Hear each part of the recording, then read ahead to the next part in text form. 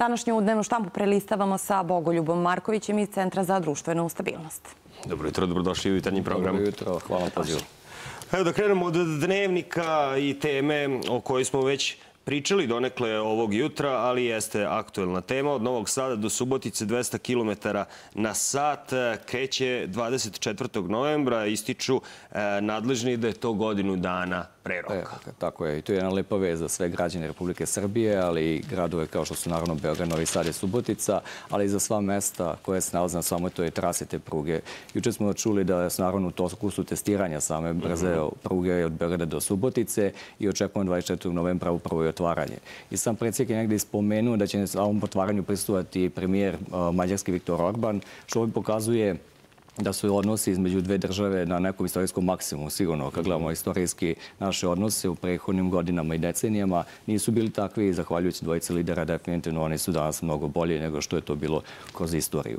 I evo, na kraju kraju očekujemo Mađari da završe sljedeće godine svoj deo pruge i da možemo i od Beograda do Budimpešte da putujemo za neki 2 sati 40 e, minuta da stignemo. Lepo sedemo, odemo tamo za vikend, popijemo kafu i oni dođu kod nas i tako da mislim da je to stvarno lepa stvar za sve nas. To je pravi pokazatelj prekograniče saradnje. Tako je, apsolutno. I jedno još lepo je što isto juče je predsjednik sam spomenuo da što se tiče carinskih kontrola da će se to pojedostaviti, odnosno da će biti u Beogradu i Budimpešti da se Evropska unija saglasila sa tim, da mhm. neće biti zadržavanje na granici, što je isto bitno zbog same brzine putovanja. Pa odlično, kao u avijenskom prevozu. Tako je, kao nešto slično, kao, upravo tako, kao Euro.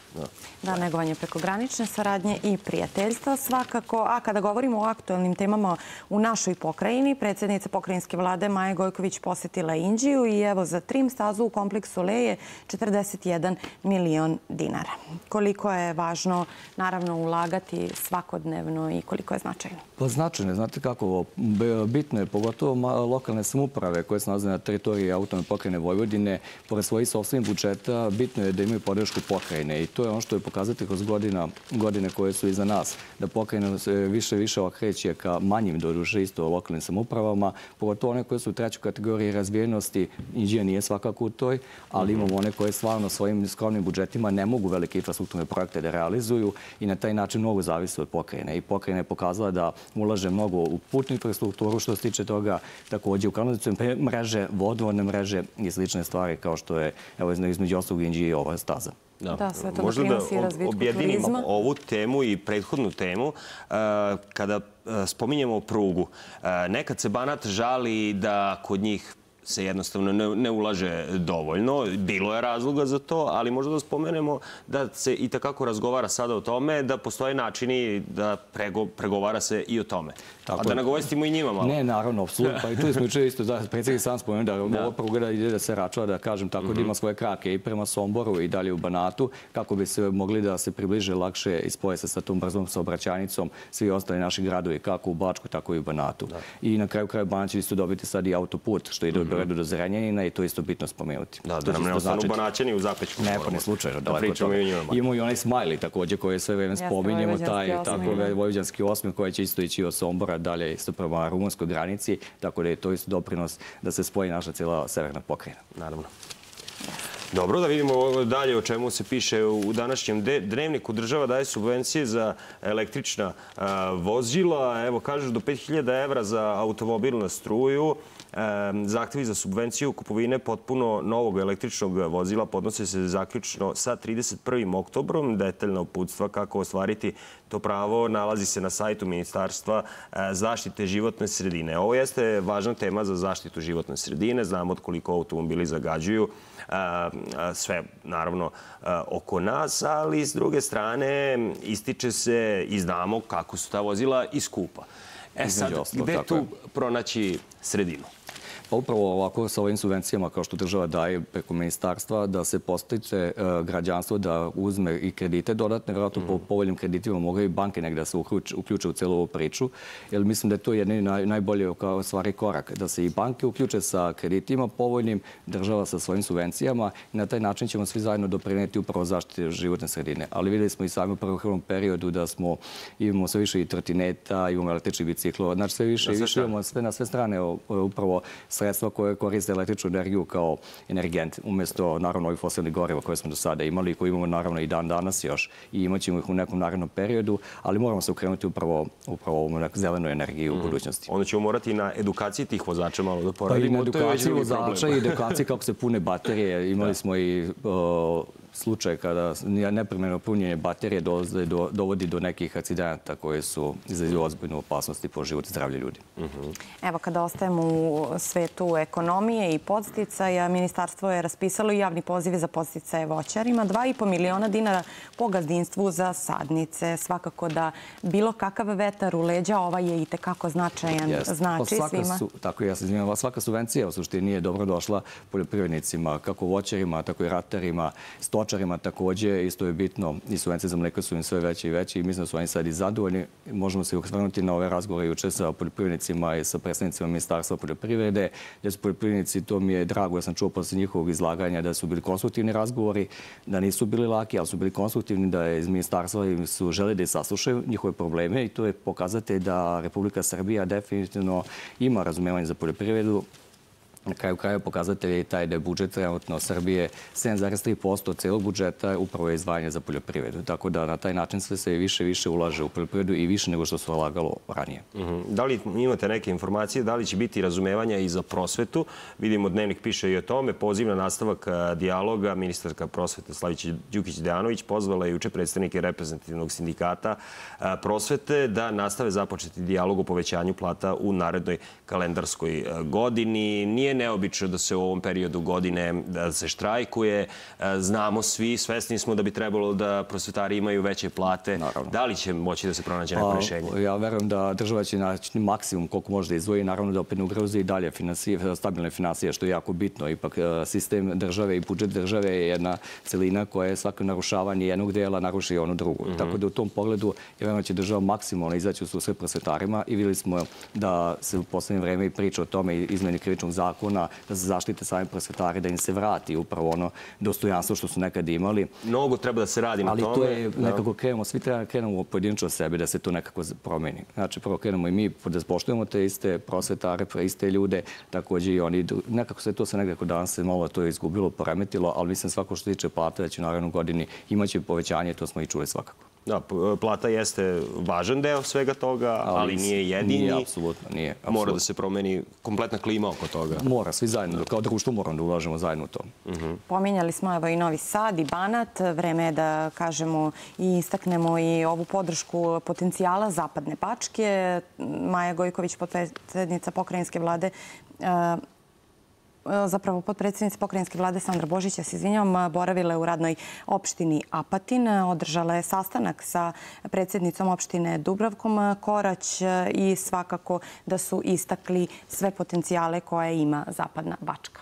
Tako je. Evo, to je još jedan dobar pokazatelj da i predsjednica vlade i podpredsjednica pokrajinske vlade da idu zajedno i sarađuju sa ono obilaze sve opštine teritorije autonome pokrajine Vojvodine i idu od opštine do opštine i upoznaju se sa problemima svake lokalne samouprave po osob. Mhm. Jer nisu sve opštine iste. Naravno imamo tu i gradova većih, kao što sam spomenuo, imamo Subotica, Sombor, naravno Pančo, Zrenje koji imaju veće budžete pa mogu neke stvari da realizuju sami, ali imamo i manje opštine kao što su Sejčanj, Titel, nešto slično, tako manjih, manje opštine koje ne mogu same da zadovolje svoje potrebe i na taj način bitno je da dođe neko iz pokrajine, kao u ovom slučaju podpredsjednica vlade, pokrajinski, da su upoznat sa problemima i to su uglavnom putna infrastruktura, vodosnabdevanje, kanalizacijona mreža i slično.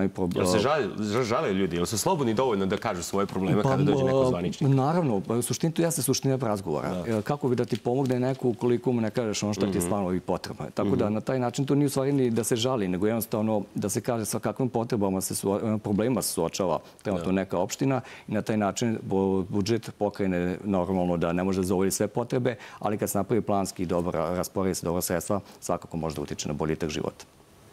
Možemo malo i na inostrane teme. Nažalost, nemile slike sa sve više strana stižu. E, neuspeh Amerike i Europske unije da zaustave invaziju na Limbarno. O tome piše današnja politika na naslovnoj strani. Sve nekako krenulo od e, Ukrajine, onda Izrael, sada evo i Liban. E, ne bi trebalo ovo da se proširuje. Kako govore jedni, ali s druge strane slike potpuno drugačije. Pa nismo ni mi mislili da će u nekom pre nekih pola godine, nismo ni mislili da će Izrael krenuti na Liban, kao što je krenuo i dana na i kopnom napad je krenuo na Južni Liban. Ali evo, Amerika je isto stavila do znanja da neće podržati u Izraelu napadu na Iran u vidu napada na njihova nuklearna postrojenja, dok u suštini tu jeste problem toga što evo Izrael je već godinu dana skoro u ratu sa sa Hamasom, kad je bio teroristički napad 7. oktobra prošle godine, kad su upali u pojas Gaze i to je ne predstavljen dan danas. I očigledno što možemo da vidimo jeste da je Izrael odlučan da se sa svim tim militantnim grupama s kojima se trenutno suočava i Hamas i Hezbolah, da se obračuna do kraja. To je sad ono malo njihov premijer Sami Netanjahu je to negde izneo kao tako da on hoće da, da završi s tom pričom sa Hamasom. Međutim, jedan vojni zvaničnik izraelski je pre nekih pola godine rekao kako je Hamas nešto više od jedne orbične organizacije, da je to u srži duši svakog palestinca. To je dug za oslobođenjem, za slobodom. I to je veliki problem upravo toga. Znači, to je bukvalno uništavanje od jednog naroda i to je ta bojas koja, koja nas, u kojom se suočavamo svaki dan. Kome su naklonjeni Amerikanci? Po Izraelu, naravno. Mislim, oni sve vreme podržavaju njih od njihovog osnivanja 1948. godine kada je proglašena država Izrael, pa sve do dana današnjeg oni su apsolutno njihovi najveći saveznici. Ali Palestina ima brojnu podršku širom sveta. Ima, ima, ima, ali očigledno nije dovoljno jaka i nisu mhm. arapske zemlje, nisu u ovom pogledu, nisu ujedinjene oko podrške Palestini, tako da u tom, to ne treba samo sada, to je već decenijama unazad takva situacija. I nažalost, narod uvek ispašta za svega toga, a evo videli smo i da Izrael preuzeo akcije protiv Južnog Libana, gde on poziva i građane Južnog Libana da se presele na sever, da se pomere kako bi slobodili taj prostor, da se oni, kako oni kažu, suočuju sa Hezbolahom. Ali evo, bombardali su i Berut i što nego od svega, oni su do sada bombardovali obode grada. Međutim, juče je bomba zaraznila dve zgrade u samom centru Beruta na samo kilometar od eh, kancelarije premijera Libana. Tako da vi može da eskalira nasilje. Sa Iranom ćemo vidjeti šta će biti. Ipak Iran je druga priča. To je ozbiljna regionalna sila koja može se suprostavi Izraelu i okoliko dođe do tako nekog ozbiljnog sukoba, to već može da ode u pogrešnom smjeru. Ne samo taj deo sveta, nego i ceo svet. Da, da preraste u veoma ozbiljan sukob. Evo, politika piše i o Vojsci Srbije koja zapošljava izviđače i tenkiste. Pripadnici izviđačkih jedinica deo su elitnog stroja Vojske Srbije. Do 15. oktobra otvoren je konkurs za popunu izviđačkih i oklopnih jedinica. Pa, eto, to je isto dobra vest u svakom slučaju za mlade ljude koji žele da se zaposle i da krenu, da kažem, ti putem da se zaposle dobiju ugovor o stalnom radu u vojsci. Mhm. I bitno je to spomenuti na kraju krajeva da se sve višim višim ulaganjima u vojsku upravo imamo potrebe i za novim kadrom. I to je bitno također i novi rukovodioci, imamo novo operativne dronove i sve više i više novih oruđa, pa je potrebno samim tim i veći broj vojnika, što je u svakom slučaju imamo i novi vojni rok koji se uvodi uskoro. I tako da sve to negdje je jedna novina i cijelina sa svakog za nas. Da li se sleglo mišljenje o tome, eto, dva i po mjeseca bit će za mlade, mišljenje jesu neki način podeljena, neki mladi ne žele da idu ni dana, nekima se to dopada.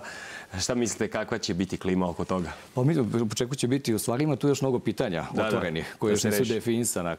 Sad je drugačiji to koncept nego pre deset godina, odnosno 2010. decembra meseca tad je taj zakon suspendovan mhm. i u 2011. je prestao taj obavezni vojni rok. E, tada još nije bilo toliko zaživljeni socijalne mreže, ni interes, ni toliko nije bilo kao što je to već danas. Tako da ima tu neke stvari kako će se to sve odvijeti ali mislim da će biti odaziv mladi kad to sve krene. Naravno, nikad ništa nije 100%. Mislim, mhm. kao svuda i u svetu, ali generalno oko bilo, koje, oko bilo kog pitanja. Tako da mislim da će biti ipak većina, će biti za vojsku kada to sve krenulo kako treba. Kada bude trebalo da se krene. E, možemo malo da komentarišemo i situaciju e, na Kosovu i Metohiji. Naravno da tamo klima nikako da bude e, malo lagodnija za naše sugrađene koji žive na severu Kosova. Marko Đurić, šef diplomatije, kaže pitanje Kosova i Metohije je suštinska tačka neslaganja sa SAD. I sad imali smo neku situaciju dok je Trump bio predsjednik da je klima bila nešto povoljnija, sada nešto drugačije. Mnogo toga zavisi od izbora koje ćemo imati ove jeseni e, u Americi. Da li postoji mogućnost da u narednom američkom mandatu bude rešena situacija oko Kosova? Šta mislite? Pa vidite, 5. novembra nas očekuje izbori u Americi svakako i negde od prilike jeste, vi ste to lepo i rekli, da dok je Trump bio na vlasti, tamo je bilo mira. Znači, bilo je mirno, nije bilo ovakvih konflikata kakve danas imamo i se doticamo tog terora svakodnevno nad srpskim stanovništvom ne možemo da očekujemo da će Amerika povući priznanje nezavisnosti Kosova. To je definitivno što ne možemo očekivati, jer Amerika je velika sila i ona ne donosi neke odluke na prečac. Ono što možemo očekivati, ukoliko Trump stvarno dođe na vlast, da će da se smire tenzije i da će neko Kurtija ipak zaustaviti u svojim ovom ludilu koje traje i stvarno srpski narod svakodnevno tamo trpi ozbiljan teror i pokušavaju definitivno da ga isteraju sa svojih vekovnih ognjišta. Hvala vam na gostovanju i jutarnjem programu. Komentarisit ćemo sve teme i budući. Hvala pozivu.